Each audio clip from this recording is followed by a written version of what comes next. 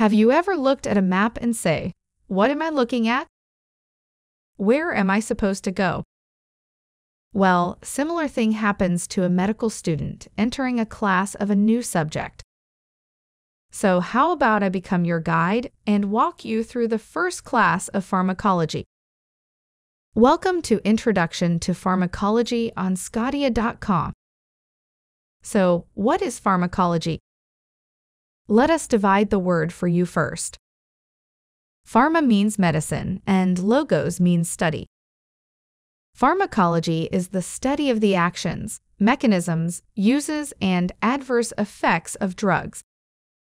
But that will be too simple of a definition. So we'll be discussing it further in details. A drug is an entity which can be natural or synthetic substance that alters the physiological state of a living organism. Drugs are mostly divided into two groups medicinal drugs, which are substances used for the prevention, treatment, and diagnosis of disease, and non medicinal drugs that are substances used for recreational purposes. These drugs include illegal substances such as cannabis, heroin, and cocaine, as well as everyday substances such as caffeine, nicotine, and alcohol. Although drugs may have a selective action, there is always a risk of adverse effects associated with the use of any drug, and the prescriber should assess the balance of desired and adverse effects when deciding which drug to prescribe. Let us talk about drug names and classification now. Well, a single drug can have a variety of names and belong to many classes. If we simplify, a drug usually has two names brand name and generic name. The brand name of a medication is the name given by the company that makes the drug and is usually easy to say for sales and marketing purposes. The generic name, on the other hand, is the name of the active ingredient. Drugs are classified according to their four properties. First one is pharmacotherapeutic actions, which is the desired effect produced by a drug. For example, there is a hypertensive patient who need treatment for that. Doctor prescribe him beta blocker, which will alleviate his high BP. The reduction in the blood pressure is the effect which is required. And this can be achieved by taking the drug. So we can say it is the desired effect that is achieved by taking a drug is called as pharmacotherapeutic effect. Dose of the drug is another important parameter which determines its action. The second one is pharmacological actions. For example, beta blockers work by blocking the effects of the hormone epinephrine, which is also known as adrenaline. When drug bind to its respective receptor, it initiates a response. Beta blockers cause the heart to beat more slowly and with less force, which lowers blood pressure. This is the pharmacological action that produced by a drug. Third is molecular actions. The molecular action of a medicine is the connection of the molecular interactions between the therapeutic treatment and the biological target, for example, receptor, enzyme, that yield the physiological response. The mechanism of action includes inhibition of bacterial protein synthesis, blockage of specific biochemical pathways, etc. Lastly, what is the chemical nature of drug? Let us understand this by taking benzoic acid as an example. It contains a benzene ring and carboxylic acid. Now the properties of attachment of both these groups, either they are hydrophobic or hydrophilic, defines the chemical nature of any compound. Pharmacology deals with this domain of study as well. So, how do drugs work? There are two ways to see this phenomena pharmacokinetic and pharmacodynamics. The word pharmacokinetics is derived from the Greek word. Pharmakon means drug and kinesis means movement. So pharmacokinetics means drug movement. whereas pharmacodynamics is also derived from Greek word pharmakon means drug, and dynamics means power, so pharmacodynamics means drug power. Pharmacokinetics is the study of time course of drug absorption, distribution, metabolism, and excretion. Pharmacodynamics is the study of the biochemical and physiological effect of a drug and their mechanism of action at organ system, subcellular, macrocellular level. PK is the body action on the drug. Pharmacodynamics is the drug action on the body. Pharmacokinetic example include paracetamol that is rapidly absorbed orally within 30 to 60 minutes 25% bound to plasma protein, widely and uniformly distributed in the body, extensively metabolized in the liver, primarily by glucuronide and sulfate conjugation into inactive metabolites which are excreted in urine. Whereas we can take pharmacodynamic example as loperamide that is an antidiarrheal drug. It acts on mu-opioid receptor in the myenteric plexus of the large intestine decrease smooth muscle tone, and delay the passage of intestinal content. Most drugs produce their effects by targeting specific cellular macromolecules, often proteins. The majority act as receptors in cell membranes, but they can also inhibit enzymes and transporter molecules. For example, beta lactam antibiotics are bactericidal, acting by interfering with bacterial cell wall synthesis certain drugs do not have conventional targets. For example, Succimer is a chelating drug that is used to treat heavy metal poisoning. It binds to metals, rendering them inactive and more readily excretable. Such drugs work by means of their physicochemical properties and are said to have a nonspecific mechanism of action. For this reason, these drugs must be given in much higher doses than the more specific drugs. Now that you have some of the understanding of pharmacology in general, let us get towards the technical aspects. I gave you an example of a map in the start, so let us continue with that. In navigation to your introduction, we will be covering four destinations. Route of administration, PK profile, transport systems, and drug receptor interaction. So let's begin the topic and learn different routes of drugs, along with their advantages and disadvantages. The route of administration is determined by the properties of the drug, for example, water or lipid solubility, ionization, and by the therapeutic objectives, for example, the desirability of a rapid onset the need for long term treatment or restriction of delivery to a local site. There are multiple routes through which drug can enter into our body. That includes oral, intravenous, subcutaneous, intramuscular, transdermal, rectal, inhalation, sublingual. Oral drug has variable absorption pattern. It is affected by many factors. Its advantages are safe to use, convenient, and economical route of administration. Disadvantages are limited absorption of some drugs.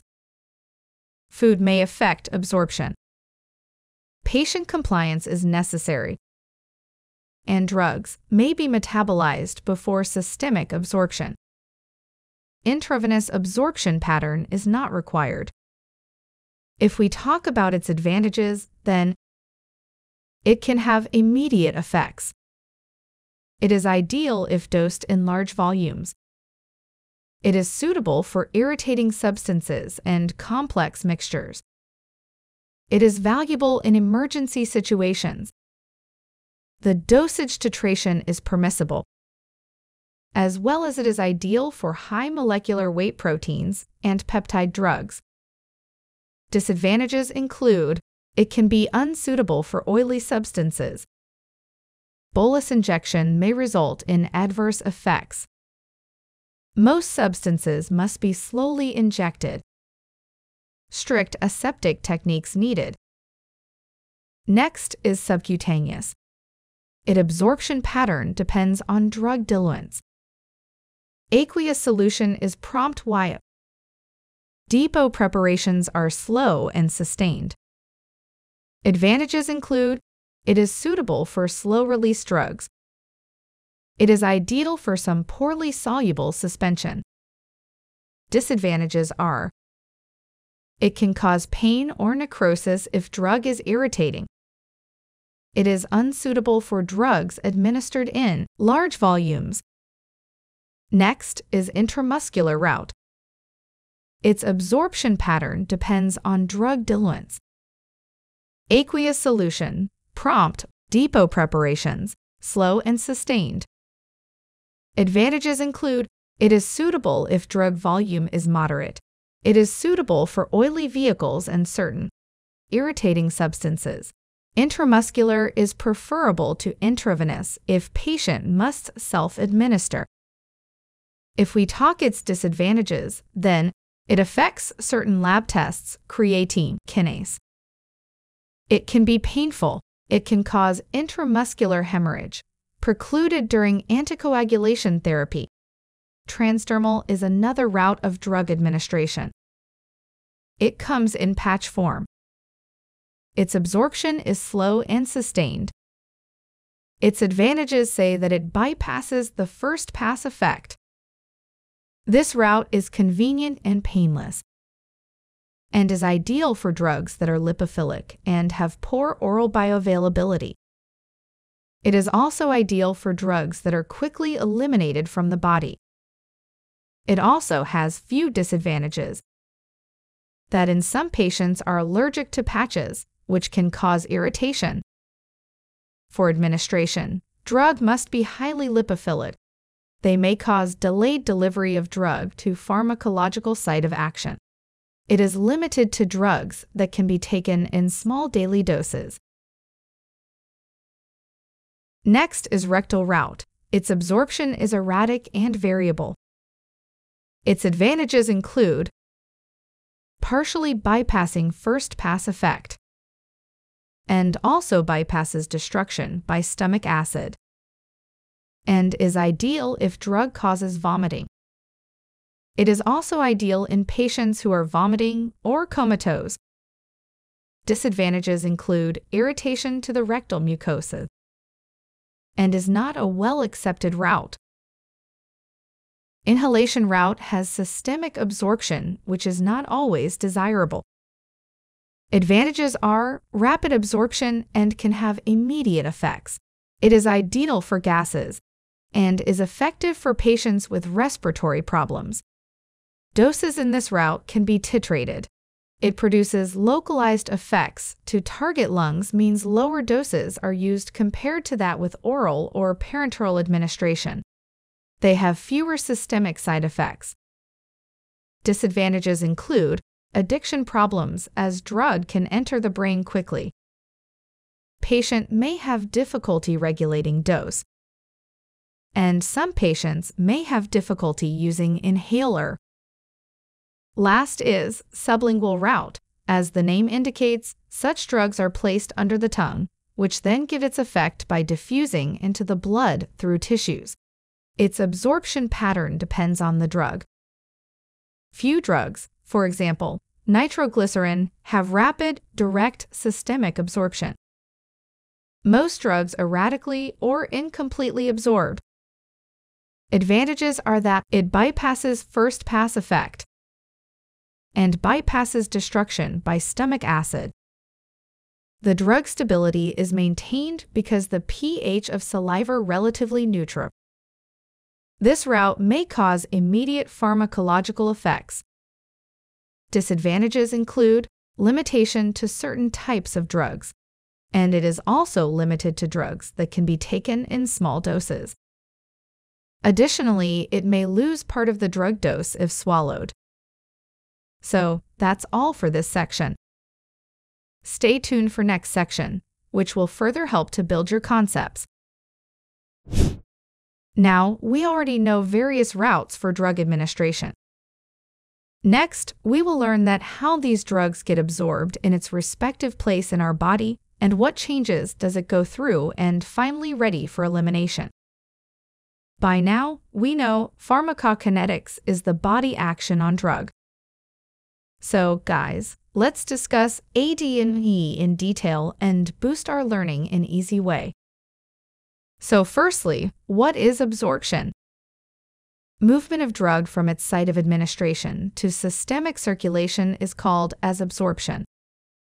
The chemical nature of a drug strongly influences its ability to cross cell membranes. Cell membranes are composed of lipid bilayers, and thus absorption is usually proportional to the lipid solubility of the drug. Unionized molecules are far more soluble.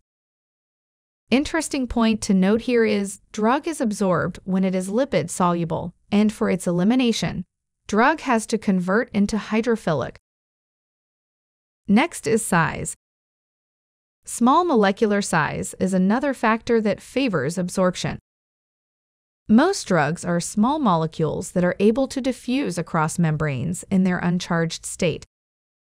If we discuss pH, then most drugs are either weak bases, weak acids, or amphoteric. Amphoteric means molecules that contain both acidic and basic groups. Drug absorption depends on the pH of the environment in which they dissolve, as well as the pKa value of the drug, will be important in determining the fraction in the unionized form that is in solution and able to diffuse across cell membranes. The pKa of a drug is defined as the pH at which 50% of the molecules in solution are in the ionized form and is characterized by the Henderson-Hasselbalch equation. For acidic molecules, for basic molecules, drugs will tend to exist in the ionized form when exposed to an environment with a pH opposite to their own state. Therefore, acids become increasingly ionized with increasing pH basic. It is useful to consider three important body compartments to plasma, pH equals 7.4, stomach, pH equals 2, and urine, pH equals 8. Examples include aspirin, which is a weak acid, pKa equals 3.5, and its absorption will therefore be favored in the stomach and not in the plasma or the urine, where it is highly charged. Aspirin in high doses may even damage the stomach. Morphine is a weak base, pKa equals 8.0, that is highly charged in the stomach, quite charged in the plasma, and half charged in the urine. Morphine can cross the blood brain barrier, but is poorly and erratically absorbed from the stomach and intestines, and metabolized by the liver. It must, therefore, be given by injection or delayed release capsules. Another factor, bioavailability, is an important one, which is the ability of a drug to be absorbed and used by the body, or we can say bioavailability is the rate and extent to which an administered drug reaches the systemic circulation. For example, if 100 mg of a drug is administered orally and 70 mg is absorbed unchanged, the bioavailability is 0.7 or 70%. This will be 100% bioavailability after an intravenous injection, but following oral administration, it will depend on the physiochemical characterizations of the drug, the individual, and the circumstances under which the drug is given. Routes of administration other than intravenous may result in partial absorption and lower bioavailability. Depending on their chemical properties, drugs may be absorbed from the GI tract by passive diffusion, facilitated diffusion, active transport, or endocytosis. The driving force for passive absorption of a drug is the concentration gradient across a membrane separating two body compartments. The vast majority of drugs are absorbed by this mechanism. Water soluble drugs penetrate the cell membrane through aqueous channels or pores, whereas lipid soluble drugs readily move across most biologic membranes due to their solubility in the membrane lipid bilayers.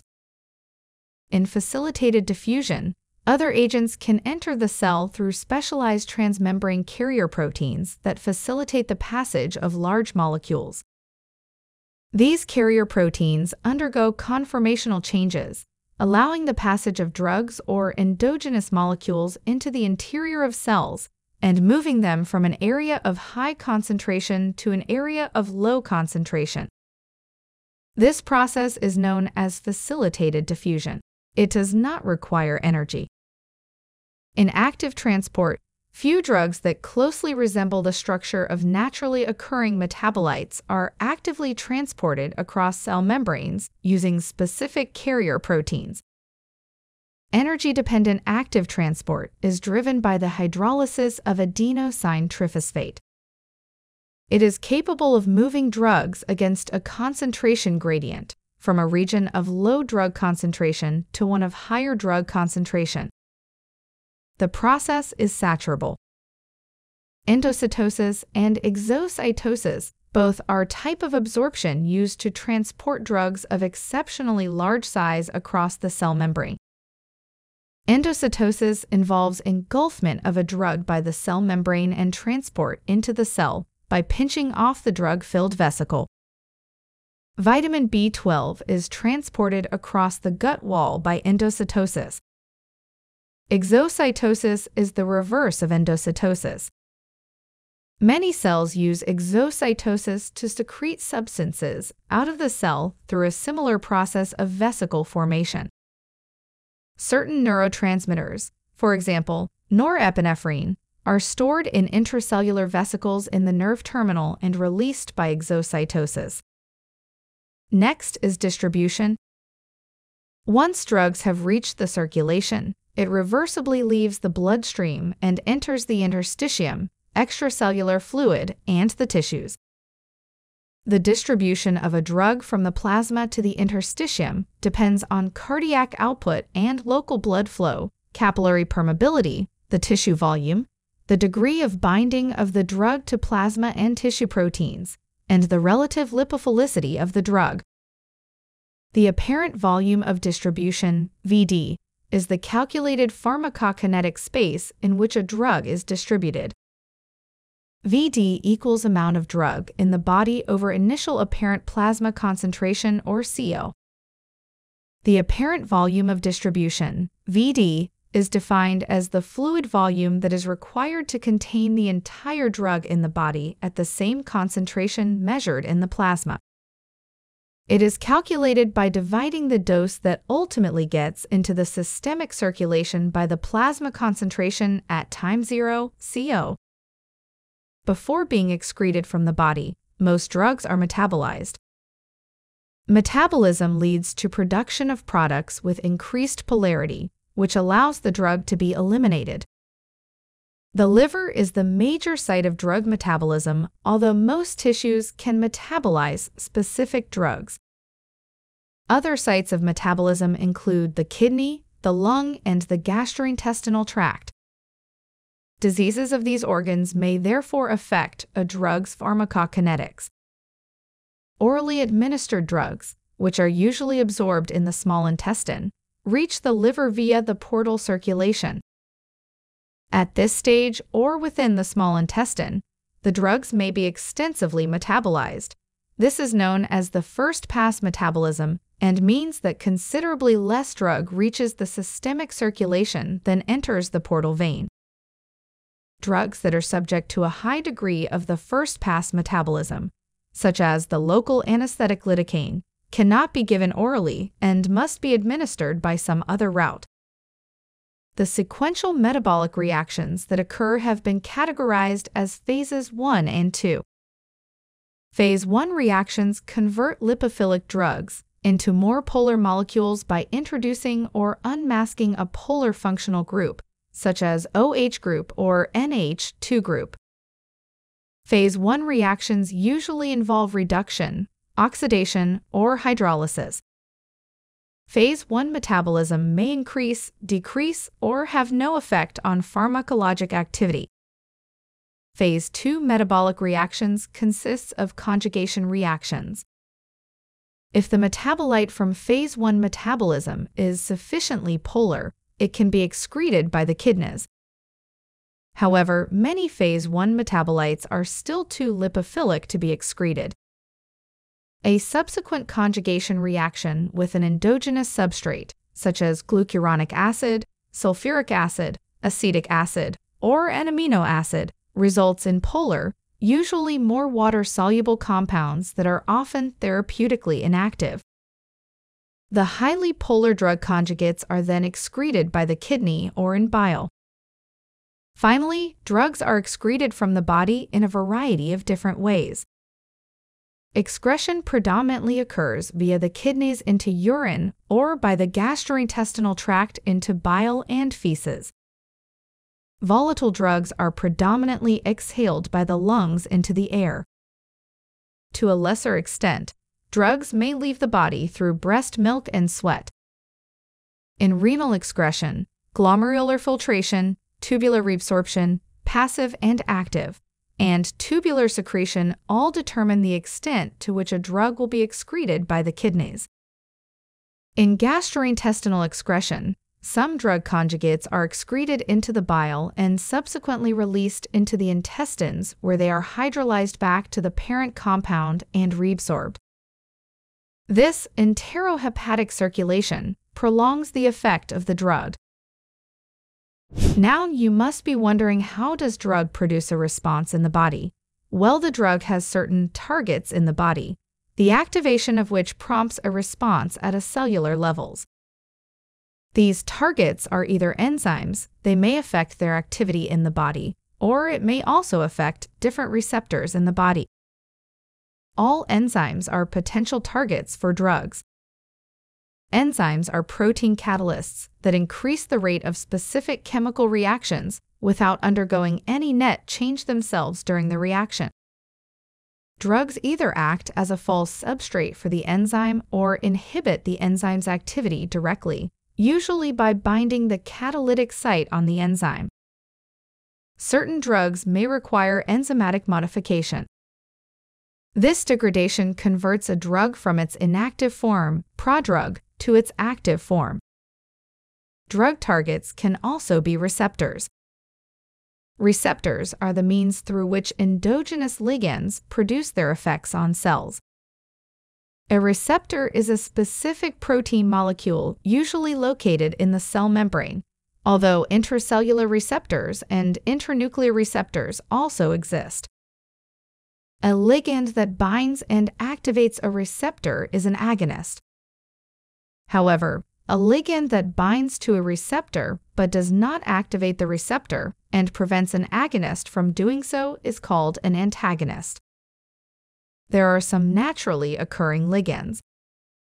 These could be neurotransmitters, chemicals released from nerve terminals that diffuse across the synaptic cleft and bind to presynaptic or postsynaptic receptors, or hormones chemicals that, after being released locally or into the bloodstream from specialized cells, can act at neighboring or distant cells. Focusing in on the receptors of these ligands and the receptors for drugs, there are multiple different types of receptors in the body, depending on their function and structure. These could be dimers, multimers, or transmembrane, looping through the membrane multiple times.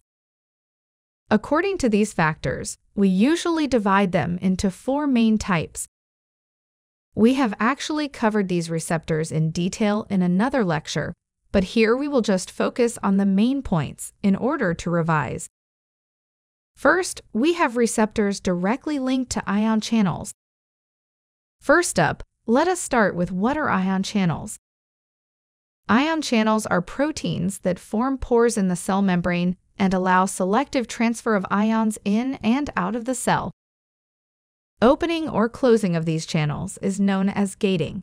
This occurs as a result of the ion channel undergoing a change in shape. Gating is controlled either by a neurotransmitter, especially in the case of receptor operated channels, or by the membrane potential, like in the case of voltage operated channels. Some drugs modulate ion channel function directly by blocking the pore. For example, the blocking action of local anesthetics on sodium channels. And other drugs might bind to a part of the ion channel protein to modify its action, like anxiolytics acting on the gamma aminobutyric acid GABA channel. Other drugs interact with ion channels indirectly via a G protein and other intermediates. Carrier molecules are also a type of ion channel located in the cell membrane, but they facilitate the transfer of ions and molecules against their concentration gradients. There are two types of carrier molecule. First, we have energy-independent carriers. These are transporters, move one type of ion or molecule in one direction. Symporters move two or more ions or molecules. Or antiporters exchange one or more ions or molecules for one or more other ions or molecules. And then energy-dependent carriers. These are termed pumps, for example, the sodium-potassium adenosine triphosphatase pump. Receptors that are directly linked to ion channels are mainly involved in fast synaptic neurotransmission. Then we have G protein linked receptors, G proteins in the body act as molecular switches in the cells. The receptors linked to these proteins are called G protein coupled receptors, also known as 7 transmembrane domain receptors, 7TM receptors, heptahelical receptors, serpentine receptors, or simply stated as GPCRs. They are specialized proteins which can bind GTP, guanosine triphosphate, and GDP, guanosine diphosphate. In the active form, it binds to GTP. There are two principal signal transduction pathways involving the G protein coupled receptors the cAMP signal pathway and the phosphatidylinositol signal pathway. G protein linked receptors are involved in relatively fast transduction.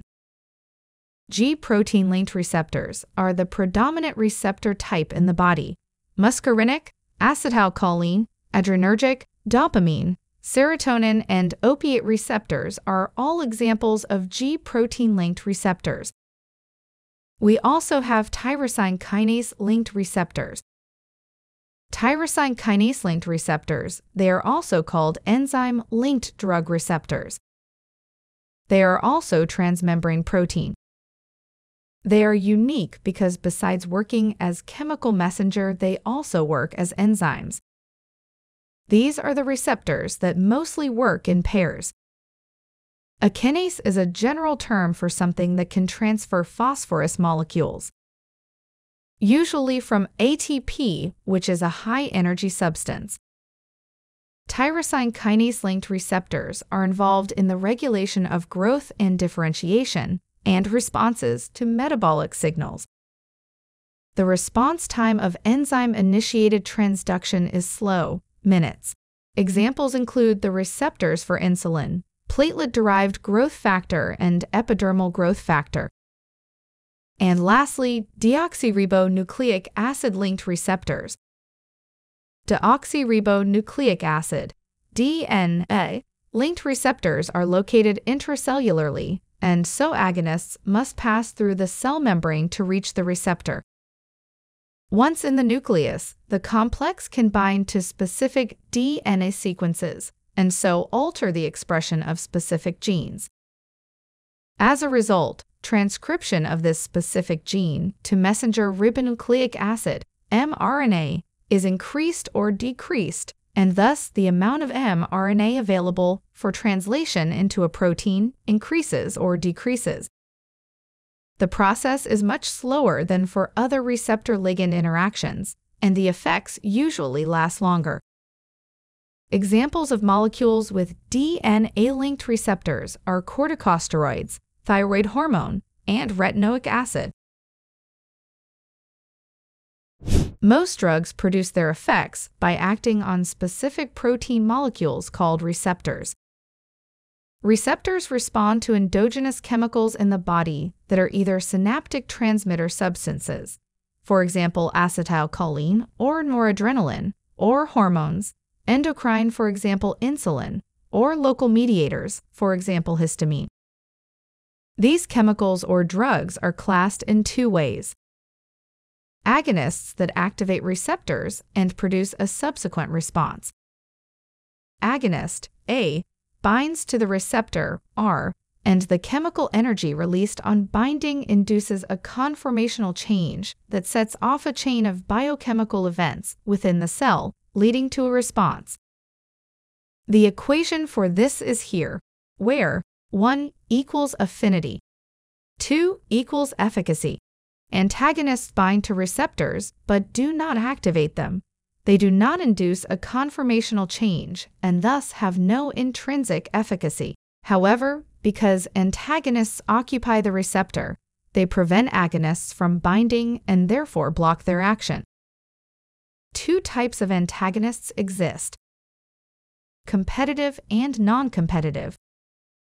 Competitive antagonists bind to the same site as the agonist but does not activate it, thus blocks the agonist's action. Naloxone is a competitive antagonist at all opioid receptors. Non-competitive antagonists bind to an allosteric, non-agonist, site on the receptor to prevent activation of the receptor. Non-competitive antagonists are also known as irreversible antagonists.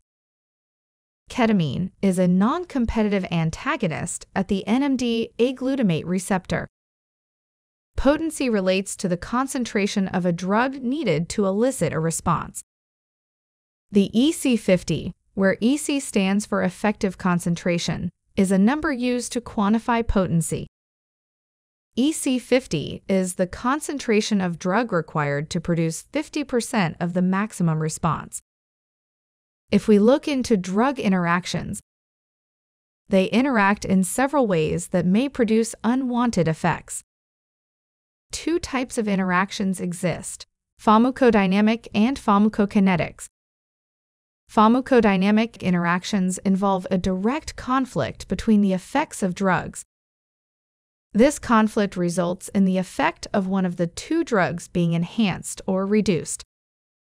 Examples include the following Propranolol, a beta adrenoceptor antagonist given for angina and hypertension, will reduce the effect of salbutamol, a beta 2 adrenoceptor agonist given for the treatment of asthma. The administration of beta blockers to asthmatics should therefore be avoided or undertaken with caution. In pharmacokinetic interactions, absorption, distribution, metabolism, and excretion all affect the pharmacokinetic properties of drugs. Thus, any drug that interferes with these processes will be altering the effect of other drugs. If administered with diuretics, nonsteroidal anti-inflammatory drugs, NSAIDs, will reduce the antihypertensive action of these drugs. NSAIDs bring about this effect by reducing prostaglandin synthesis in the kidney, thus impairing renal blood flow and consequently decreasing the excretion of waste and sodium.